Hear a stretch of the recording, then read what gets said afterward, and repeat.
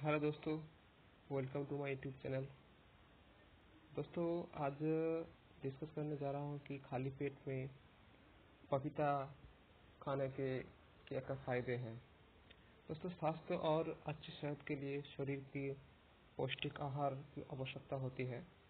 इंसान को अच्छी ज़िंदगी गुजारने के लिए शरीर, स्वास्थ्य का ठीक होना भी अत्यंत आवश्यक होता है। साथ ही अच्छे स्वास्थ्य और अच्छी सेहत के लिए शरीर को पौष्टिक आहार की आवश्यकता होती है। इसलिए फलों का सेवन बहुत ही ज़रूरी होता है, क्योंकि इसमें कई तरह के पौष्टिक तत्व मौजूद होते हैं। वही पपीता सेहत के लिए सबसे कारगर साबित हो सकता है। वही अगर खाली पेट रोज़ाना पपीता का सेवन किया जाए तो कई तरह की गंभीर बीमारियों से खुद को बचाया जा सकता है। दोस्तों, जानकारी के लिए बता दें कि पपीता में कई तरह के पौष्टिक तत्व जैसे प्रोटीन फाइबर विटामिन मौजूद होते हैं, जो हमारे शरीर को स्वस्थ और हेल्दी रखने में मदद करते हैं। इसके अलावा, पपीता में फाइबर मौजूद होने के लिए, होने के कारण इंसान को पाचन क्रिया भी ठीक करने में बहुत ही मदद करते हैं। इतना ही नहीं, अधिकतम लोग कई बहुत सारे और भी समस्या से जुड़े हुए हैं, जैसे जिस कारण लोग को गंभीर गंभीर बीमारियों की चपेट में आ जाते हैं, साथ ही कोलेस्ट्रॉल भी बढ़ जाता है।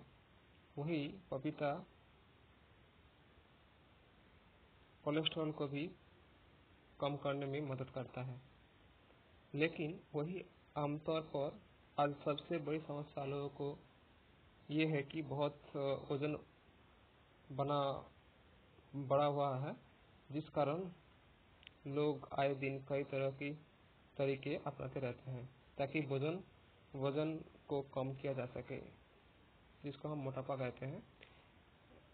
वैसे में खाली पेट पपीता का सेवन वज़न घटाने में कारगर साबित हो सकता है, क्योंकि पपीता के सेवन से बहुत जल्द ही वज़न घटाया जा सकता है।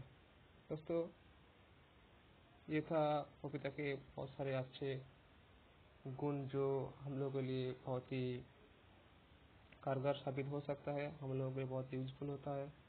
तो दोस्तों ये वीडियो और आप, आप लोगों को कोई भी अच्छा लगे और ऐसे ही बहुत ही यूजफुल वीडियो पाने के लिए प्लीज़ चैनल को सब्सक्राइब कीजिए वीडियो को लाइक कीजिए शेयर कीजिए और इसी तरह आप लोग प्लीज़ कमेंट कीजिए कि इसी तरह, इसी तरीके का और भी कैसे हेल्थ के टिप्स आप लोगों को चाहिए तो मैं वैसे वीडियो फ्यूचर में बनाऊँगा। So friends thanks for watching